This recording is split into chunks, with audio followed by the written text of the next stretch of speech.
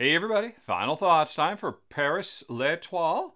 And before I get to that, please remember this was a paid Kickstarter preview. And with that out of the way, you know what? As I said a couple of years ago, Paris is fantastic. Once again, you can hit that eye in the top right corner screen and go watch my original run through where I played quite a bit further, got to where I was starting to do landmarks, so you could see a little bit more of the gameplay. But L'Etoile definitely elevates the gameplay. I mean, it is nice, definitely, to have several new bonus tiles that do a lot of really interesting stuff as just one off powers. That's really cool, but what's much more important are all these special tiles. Everybody gets one right from the get go, and and then, depending on the player count, there is a pool of 8 to 10 additional ones just sitting there, just begging for you to come and grab them. And how do you grab them? It's something I really appreciate. It's by going to the Arc. Because in the regular game, without these, the only reason you come here, you don't make any money off of it. It's just kind of for long term. It is great that it gives you flexibility, but it always kind of feels like I should be doing better. I should just commit and actually make some money while I'm doing my investments instead of getting no investments.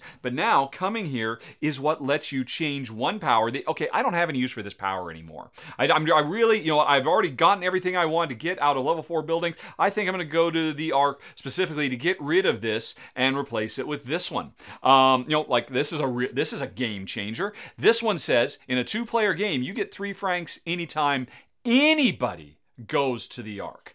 And that's really cool. And this introduces, I mean, several of these are things that will be triggered when you do something or when other players do things. Uh, and that's really, really cool because all of a sudden, now that I have this, other players don't want to go to the arc anymore because they're afraid of giving me money. And but I now desperately want to go to the arc because I actually get money, I get the cash, and I get it. Um, but there might come a point when I say, you know what? I don't need to have the flexibility of being on the arc anymore. I'm looking for a very specific tile. At which point I might want to trade out one power for this one because this actually lets me look at the building tiles before I draw them.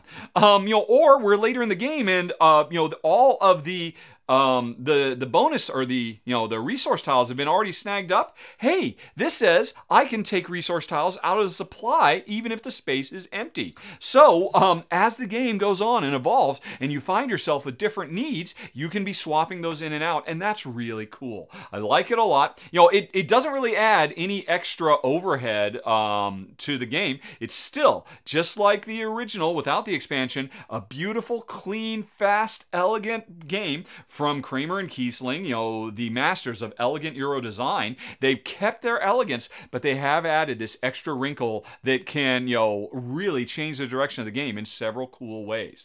Now, if I had any complaints about it, and I do have one, I do think it is a bit overwhelming in a two player game to have my one special power and 10 different special powers I could swap it for. That just feels like a lot. In a four player game, there'd only be eight, and that would be a little bit less, but I almost kind of wonder if there might have been a variant to say, hey, you know what? After everybody gets their starting ones, um, and and you know the rest are there. Uh, ensure there's only six on display, so that oh the game's a little special. This is a game where there isn't the special arc thing, so the arc isn't going to be special. But now the the uh, visibility thing is here instead. I could see that maybe being in the same way you get variability set up every time you play with all your bonus tiles, the way they're scattered around, and you know the collection tiles, and you know drawing. It'd be kind of nice to say, hey, you know what? The uh, special powers that are available to us this game, it's going to be a different selection as opposed to it's always the same 12 special powers every single time you play. Um, both because it, it means there's a little bit less variability, and also because it is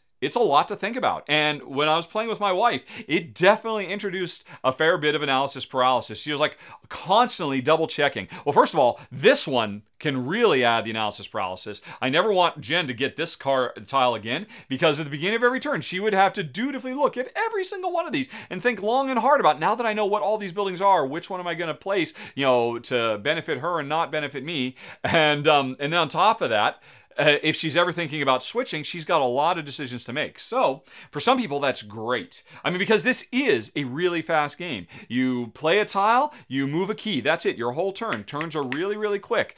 This does add an extra layer of complexity that will give you more to think about. And I think for some people, maybe that's what Paris needed desperately. Um, I thought Paris was great as it was. I didn't, I wasn't jonesing for more content, but I do really appreciate this, and I do think it does elevate the game.